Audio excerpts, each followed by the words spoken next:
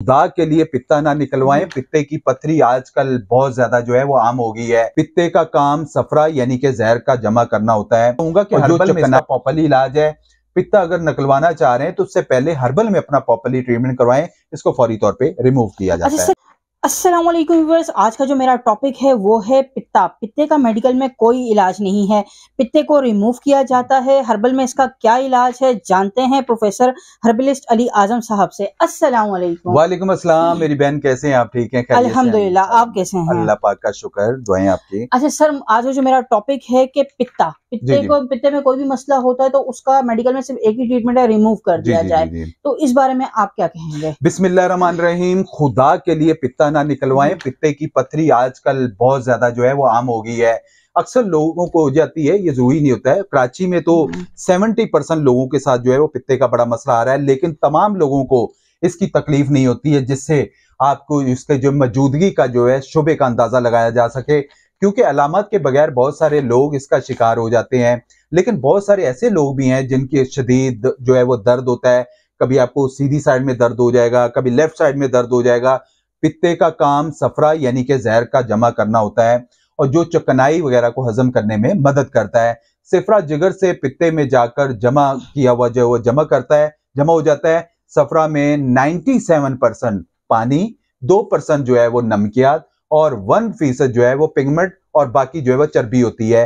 पित्ते में अगर किसी किस्म की सोजश हो जाए तो फिर जो है वो सोजश वाले मकाम को जो जो है कोलेस्ट्रॉल जमना शुरू हो जाता है, जिससे आगे प्रॉब्लम्स आ जाती है। 90 फ़ीसद मरीजों को जो है वो ना सिर्फ़ सोजश होती है, बल्कि इसके साथ जो है वो पित्ते में पथरियाँ भी जमा होना शुरू हो जाती हैं। तो मैं तो यही कहूँगा कि हर्बल में इसका पॉपली इलाज है। पित्ता अगर निकलवाना चाह रहे हैं तो उससे पहले हर्बल में अपना प्रॉपरली ट्रीटमेंट करवाएँ इसको फौरी तौर पे रिमूव किया अच्छा जाता है सर ये बताइएगा पित्ते की पथरी से ज़ाहिर है निज़ाम हाजमा भी खराब होता है हम्म। तो आपके पास ऐसा क्या हल है ऐसा क्या इलाज और नुस्खा है कि जिससे जो है हमें पित्ता रिमूव नहीं करवाने की ज़रूरत पेश आएगी जी मेरी बहन बिल्कुल क्योंकि पित्ता नहीं होगा तो हम्म। जिसम आपका पिलपिला हो जाएगा। आपके हाजमे का निज़ाम मुतासर हो जाता है अगर इसका फौरी इलाज ना करवाएँ तो जो है वो आगे कैंसर बन जाता है पसलियों के नीचे दाएँ बाएँ शदीद तकरीब कभी कभार हल्का, कभी शदीद जो है वो बुखार होना शुरू हो जाता है। मतली और कह आना भी जो है वो पित्ते की पथरी की बीमारी को ज़ाहिर करता है। पित्ते की पथरी की बीमारी में निज़ाम निज़ाम जो है वो ठीक तरह जो है वो नहीं चल पाता है यरकान पित्ते की पथरी में और बीमारी को जो है, वो ज़ाहिर करता है। अगर थोड़ी थोड़ी देर बाद भी हाजत महसूस हो रही है या शिकायत महसूस हो रही है उसके हवाले से तो भी पित्ते की अलामत का प्रॉब्लम्स आ जाता है। पित्ते की पथरी में पस पड़ जाती है, इससे शदीद जो है, वो पेट में दर्द होता है। खसूसी जो है, वो मर्दों की नस्बत खवातीन में इसमें ज़्यादा प्रॉब्लम्स हो जाती है। पित्ते में अगर कैल्शियम की मकदार ज़्यादा हो तो एक्सरे में नज़र नहीं आती है। वरना इसकी तशखीस का बेहतरीन ज़रिया जो है वो अल्ट्रासाउंड होता है, जिसकी मदद से ना सिर्फ़ पथरियों का पित्ता जो है वो पता चलाया जा सकता है, बल्कि सही जो है वो साइज़ भी मालूम हो जाता है कि पित्ता जो है पथ- पथरी वो किस साइज़ में है।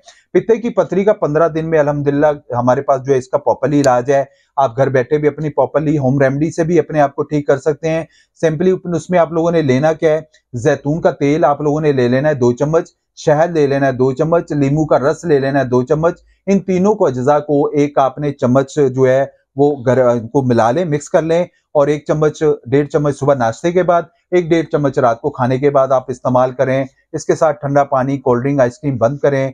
उस वो चीज़ें बंद करें जिससे बलगम और रेशा ज़्यादा बनता है और यकीन करें नेचुरली वे में लोगों के पित्ते की पथरी का वो बाहर आई और वो हम्म। ठीक हुए दोबारा उनको ज़रूरत ही नहीं पड़ी है। मतलब ये जो है रिमूव किए बगैर ऑप्शन अवेलेबल है कि वो पत्नी अ, पथरी जो है वो ऑटोमेटिकली रिमूव हो सकती एग्जैक्टली है मेरी बहन हर चीज़ का इलाज है। हम्म। देखें आपको कोई भी प्रॉब्लम्स आ रही पहले उसको कोशिश करें हर्बल में इलाज करवाएँ और पित्ता बचाएँ। हम्म। फिर लास्ट ऑप्शन की तरफ़ जी जाएँ। ना फिर लास्ट ऑप्शन हाँ। की तरह बहुत सारे लोग क्या करते हैं वो जल्दी में जल्दबाजी में पित्ता निकलवा लेते हैं फिर बेचारों की जहाँ सत्तर अस्सी साल में पहुँचना होता है वो साठ साल में उनके जो है वो हड्डियों के अंदर बुरबरापन असाबी कमज़ोरी जोड़ों का दर्द नज़र कमज़ोर बालों का गिरना और बड़ी प्रॉब्लम आ जाती है।